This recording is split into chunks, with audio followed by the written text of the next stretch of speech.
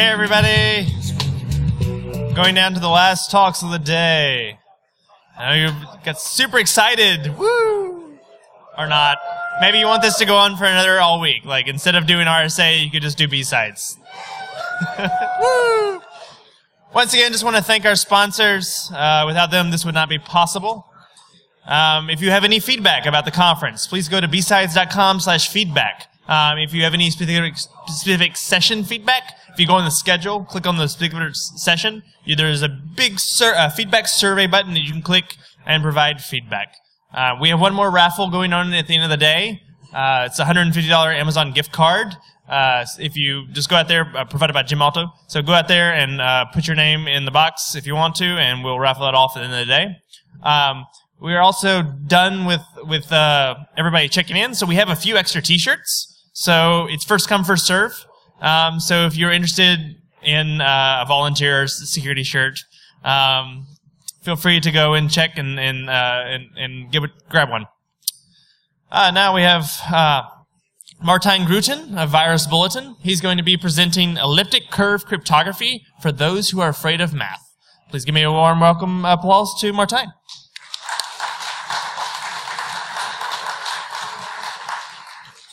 Thank you. When I was in my late teens, my dream was to become a professional mathematician one day. And I actually went to study mathematics, and after that I worked some years as a mathematician, um, doing research in an area called algebraic geometry, which includes stu- the study of elliptic curves. Life doesn't always go the way you plan it, and for some reason, kind of randomly, about 10 years ago, I find myself working for a security company. And then I discovered that these elliptic curves that I liked so much, uh, they play an important role in cryptography. So what I'm going to do today is I'm combining my two backgrounds and talk, and I will explain how elliptic curve cryptography works, but leaving out all the boring details. Um, I need to make some disclaimers. Firstly, I want to make, make clear, crypto is hard, and it takes a lot of mathematics to, to learn crypto, and even more to learn elliptic curve crypto. You can't do it in 25 minutes. You're not going to learn anything that you can apply tonight, tomorrow, in the next year. So sorry about that. Um, I also want to make clear I'm not a cryptographer. Um, I, I, think I understand it well enough to explain it, but I, I don't shouldn't call myself a cryptographer. And finally, to to make uh, to help explain uh, to, to help to, to make sure that um, I don't stumble over uh, small details, uh, I, I'm cutting a few corners here and there. So apologize to the pedants in the room. Okay, every introduction to elliptic curve starts with this formula. y squared equals x cubed plus a times x plus b. And there's a prime number p, because in crypto there are always prime numbers. And I think this is unhelpful because this doesn't really matter. So please don't uh, try to remember this formula, but do remember that there are some choices to be made. Uh, if you choose a different a or a different b or a different p, you get a different elliptic curves, and some are more suitable than others. Um, what is important is this figure. This is what an elliptic curve looks like. Um, you see it against the uh, Cartesian axis, and you can see that it, looks a bit funny, and it is symmetric in the horizontal axis. And on an elliptic curve, there are points, and these points play an important role. And as you may remember from secondary school, is points can be represented a, um, by two coordinates. And I will assume, and that's one of these things where I'm cutting corners, that a, a, computer represents a point by a number. So points and numbers are the same thing.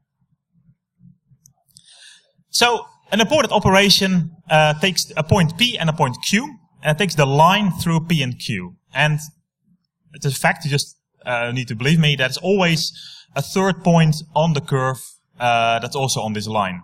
And I said the curve is symmetric in the horizontal axis, so you can take the mirror image of that point, the third point, and we call this P plus Q. I cannot stress enough that this is not supposed to make any sense. Uh, uh, mathematics students, when they first learn this, it doesn't make any sense uh, to them either. Uh, I'm not explaining to you what P plus Q is. I'm just defining something called P plus Q, and, and why this is P plus Q. It will never make sense during this talk, but it will become a little bit clearer in, in two minutes. Um, it is called point addition on a curve.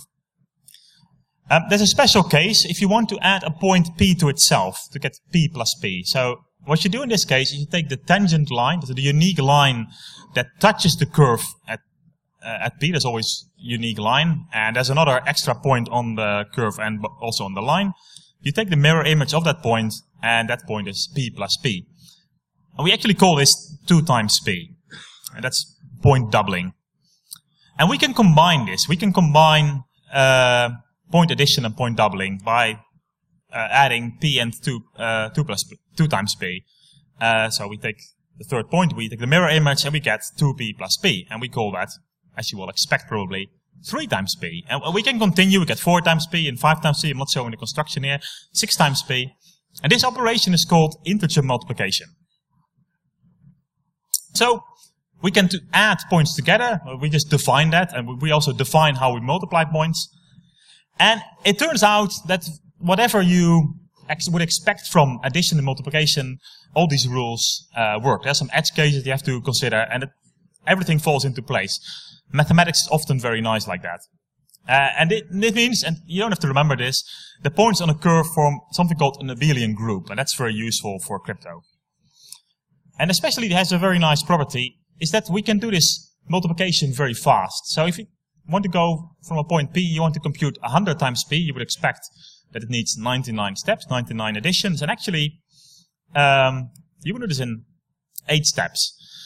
Um, this may go a bit, a bit too fast for you. Uh, don't worry about it, just believe me that you can do this in 8 steps. But if you've ever implemented fast exponentiation in a programming language, it's the very same principle. And if the numbers are even bigger, uh, what you earn is, is much more. So uh, multiplying by a billion takes 50 steps, and, and actually even less if you do it uh, slightly faster. And multiplying by the enormous numbers you, you, you see in crypto uh, takes a few hundred steps, most. Uh, on the other hand, the opposite operation is very slow. So what I, what I mean is, if you are given two points on the same curve, P and Q, and you know that Q is n times p for some number n, which may be 100, it may be 15 uh, quintillion. Uh, the really the only way to find this number n is to try if, if p 2 times p 3 times p until you get q. This is extremely slow, and if numbers uh, are very fast, then computers simply can't do this uh, unless they got millions of years.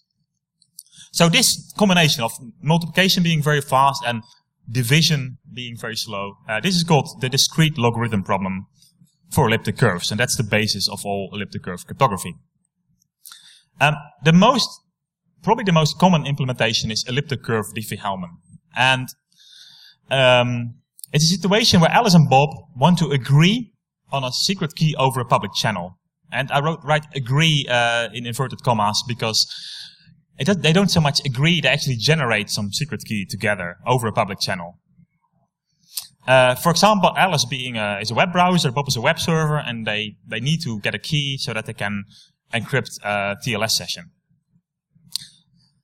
So what happens is that Alice and Bob first agree publicly over a certain elliptic curve to use and a point P on that curve. And Alice chooses a large secret random number A, a very large number and B chooses a large random number B. And they both keep these numbers secret. They don't tell them to each other. They don't share them with anyone.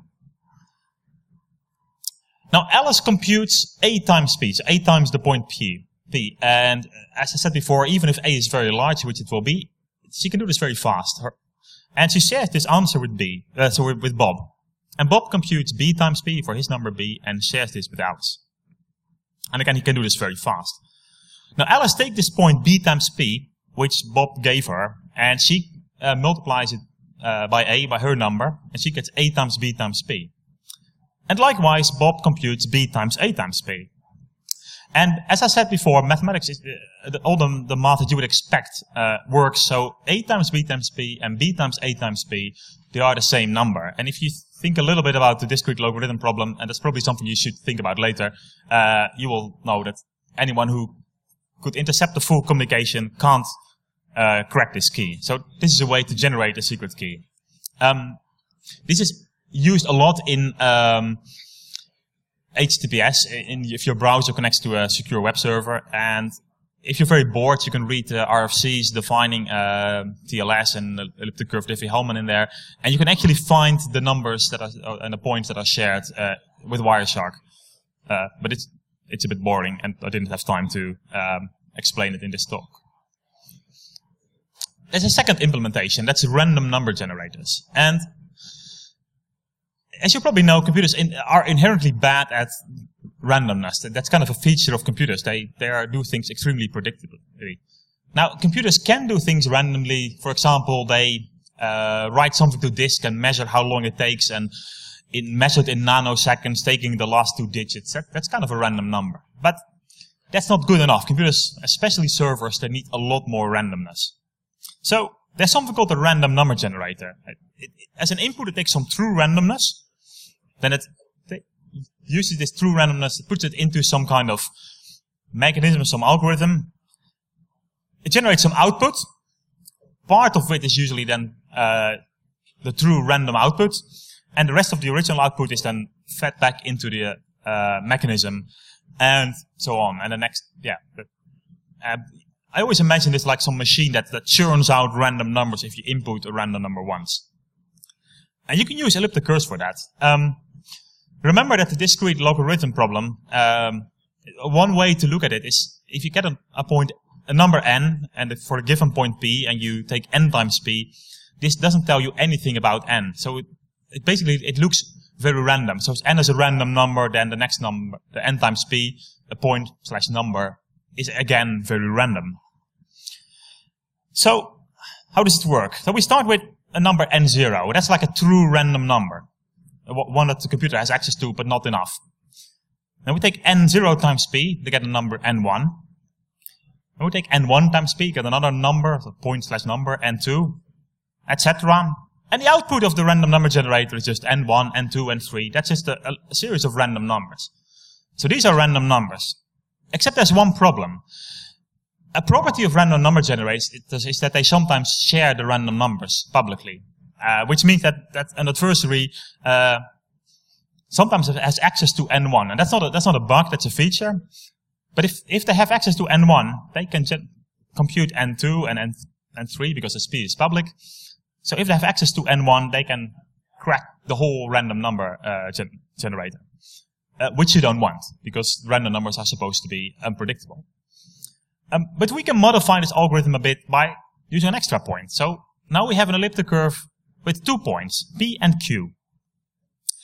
And we take N0 and because I'm going to formalize things a bit, it's a 32 byte seed. So 32 bytes of proper randomness. And again, we take N0 times P to get N1. But now we don't just take N1, we take N1 times Q. We get another 32 byte point slash number. We throw away the first two bytes and we get another 30 bytes and that's your random output.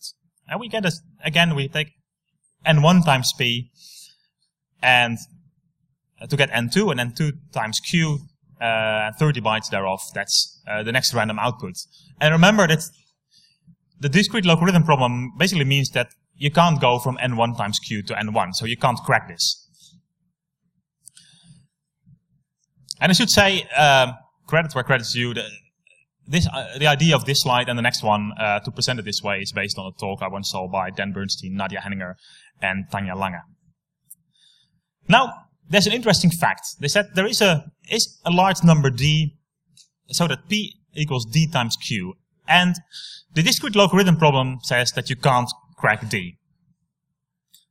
But imagine someone somehow has access to this number d. What can they do? Well, firstly, and that's unrelated to this d, um, they only have the 30 bytes out of 32, but there's only 65,000 possibilities. It's actually very easy because the point has to be in a curve, and it's very easy to uh, to actually get the full random output, so the full 32 bytes. And let's call this R1. So an adversary has, that's a property, has access to R1. Now, um, I claim that D times R1, this magic number D that uh, imagine someone has access to it, hypothetically, is the same as N2. So why is that true? It's actually quite simple. Um, so N2 is by definition N1 times P, and uh, that P was D equals, uh, P equal D times Q, as we said. Uh, you can change the order as we've already used before, so that's equal to D times N1 times Q, and N1 times Q is R1. So someone who has access to D and someone who can read uh, R1, which is something that you assume will sometimes happen, can compute R2, uh, N2, sorry, and can compute the next random number and the next random number, and again has cracked the algorithm. So the million dollar question, or perhaps the ten million dollar question is, who knows D?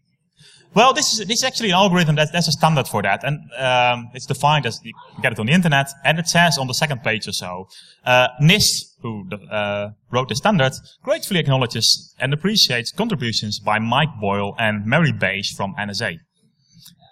Oops. As you all, as most of you probably have guessed, this is uh, the algorithm Dual EC DRBG, um, which has been making the news a lot in recent years.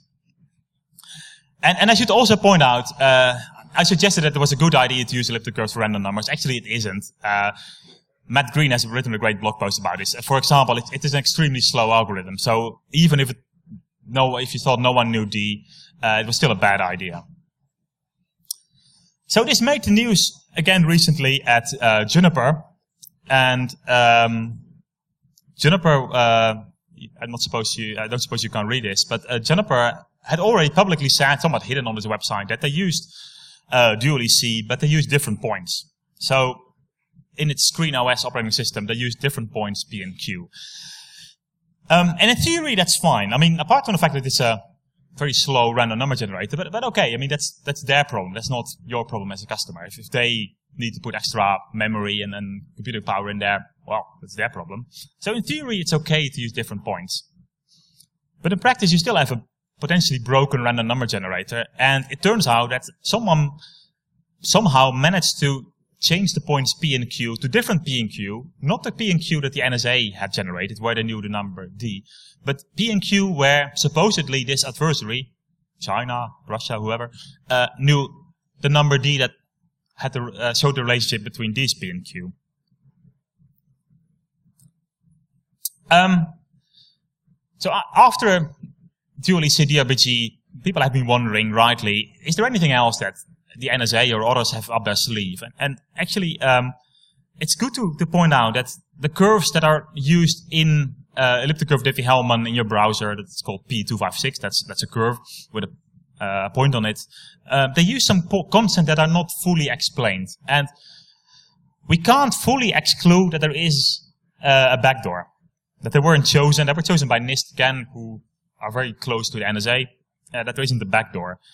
And there probably isn't such a backdoor. Um, but we should really aim, as a matter of principle almost, to use curves uh, that have only use constants that are that are obvious, that are that are not mysterious, very small numbers. Uh, if you ever see curve 25519, which Dan Bernstein invented, uh, that's such a curve, and it, it's also ex extremely easy to implement. Um, if you want to read more about this, and if you want to basically um, see the theory that the NSA has backdoored uh, all these curves uh, debunked, uh, there's a great paper by Neil Koblitz and Alfred Menezes. So to round off, um, I hadn't mentioned this, but elliptic curve cryptography is actually a very good idea in general uh, because you can do with much smaller keys. Um, computers are getting faster, and using RSA or standard Diffie-Hellman, you need to increase uh, the size of your keys. Um, 256-bit elliptic curve crypto gives about the same security as 3072-bit RSA. So uh, it doesn't take as much CPU, it doesn't take as much memory, it doesn't, yeah, it doesn't take as much space to store keys. But there's also a big weakness, and um, is that it uses complicated math. I mean, it's it's not the most complicated math ever, but that's a kind of math that most math, uh, students of mathematics will never uh, come across. And it's often implicitly said that, that, that the fact that elliptic curve crypto uses complicated math is, um, is a strong point. And actually, I think it's a weakness. I mean, if you use crypto that you don't understand, then you basically need to trust someone else. And RSA is, is a lot more basic. And I think there are enough people to understand this, uh, elliptic curve crypto that, that we should use it, but we should be wary of that. Uh, you should really consider this a weakness. Um, I've talked way too fast because I didn't think I would have six minutes left for questions. But uh, there should be time for questions. I'll be speaking at another conference in town uh, on Thursday morning about a different topic, and I'm on Twitter and email. And thank you.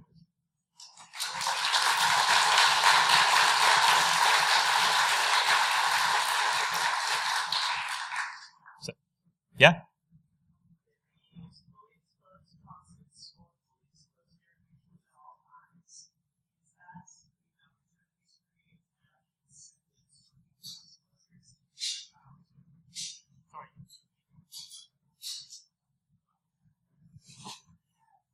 If we consistently use well-known derivations for constants or extremely obvious constants, is that enough to at least create the correct incentives for disclosure? Like if somebody does realize that there exists a D and the D is dangerous, if we have fully public derivations, does that make us reasonably safer?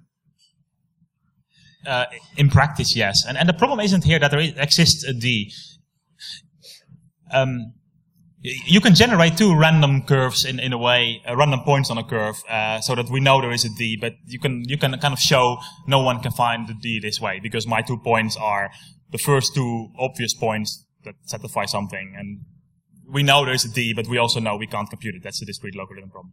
Yeah. Can you say anything about vulnerability of RSA versus ECC to uh, quantum cryptography? I mean, quantum computing. I, I, yeah, I was worried that someone would ask about quantum computing. I know very little about quantum computing. I think ellip- you know, um, elliptic curve cryptography in general uh, is vulnerable to quantum computing attacks. Uh, yeah, so elliptic, yeah, almost similar in a similar way that uh, RSA is. I am the afraid of math part of your audience. Can you back to the slide on p times two, p times three? Sorry, on the slide. Can you go back to your early slide? Keep going. Yeah, getting there. Further. P plus Q. There. Here. When you draw the first line. Yes. How do you know the angle to draw it? Is it still the same angle as the line from P through Q and you're just moving it to a different point on the curve? So, so sorry, I, I, I couldn't hear your question. When you transition from here to the next slide. This one. Yes when you draw that line, yes. is it just keeping the same angle for that line and moving the starting point to a different point on the curve? Um, no, it, it, it is it is um, coincident that the angle is more or less the same. No, it, for any point on a curve, and that's a property of, for any curve, not even elliptic curves, uh, there's a unique line that that goes through the point and that goes through the that, that only goes through it once, that touches it there. It's called a tangent line. That, it's like basically you take two core points and you move them closer together, and you look at what, what happens to the line through these points. And at some point, the um, the points fall together, and there's a unique line. So I see. So the tangent line will change depending on where on the curve you put that yes. point P. Thank yes. you. Yeah.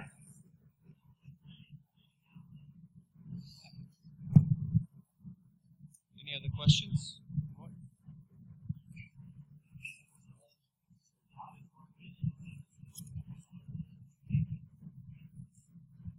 On the quantum computing, as far as I've been able to tell from everybody, the answer out there is that for RSA, it's definitely susceptible. And for elliptic curves, uh, we don't know yet. Um, nobody's figured out how, but everybody worries because it's a short enough thing that if they do figure out how, then it'll be a problem. Uh, about quantum?